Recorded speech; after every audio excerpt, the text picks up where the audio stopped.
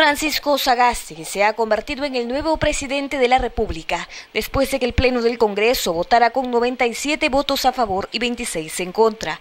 Por la única lista que encabeza para presidir la mesa directiva.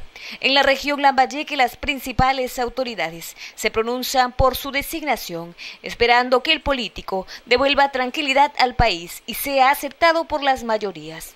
Obviamente si yo no puedo decir que no, amén, que yo no, no le he compartido con su decisiones que han tomado, pero soy muy demócrata, tengo que respetar las decisiones que se dan en, en el legislativo. Ojalá digo que el pueblo lo acepte. Ojalá que los jóvenes, porque hay que escuchar a los jóvenes que están haciendo lo contrario.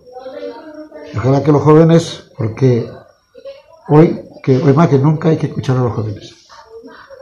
Cerca del 40% van a elegir presidente el gobernador regional Anselmo Lozano ha pedido al nuevo jefe de Estado nombrar un gabinete que conozca la realidad del país y pueda enfrentar los problemas económicos por los que se atraviesa. Solamente decirle que de inmediato, de inmediato vea su consejo de ministros, que tenga consecuencias, que conozcan la administración pública.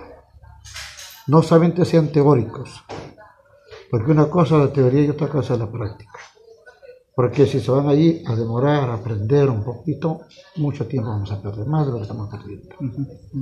Para el alcalde de Chiclayo, Marco Gasco, la designación del legislador como mandatario le devolverá la tranquilidad y la calma a un país golpeado por la crisis. Creo que devuelve la tranquilidad a las calles, devuelve la tranquilidad a esa juventud impetuosa que ha salido a protestar y gracias a ellos se pudo hacer los cambios que se necesitaban que lamentablemente el Congreso irresponsablemente antes definió, pero ahora saludo el cambio que ha habido, saludo la, la, elección de Sagasti en una forma consensuada. Finalmente nos cuenta que iniciará diálogos con la nueva autoridad para la ejecución de importantes obras que fueron comprometidas por el exmandatario Martín Vizcarra. Tengo que acercarme, por supuesto, tenemos obras pendientes que nos dejó ya comprometidas el presidente Vizcarra, ya las dejó comprometidas él,